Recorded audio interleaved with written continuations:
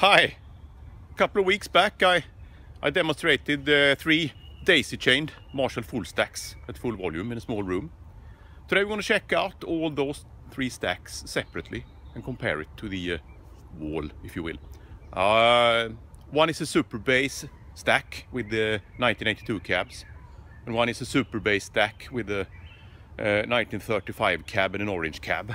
And the last one is a super lead with two 1960 cabs. So, let's go.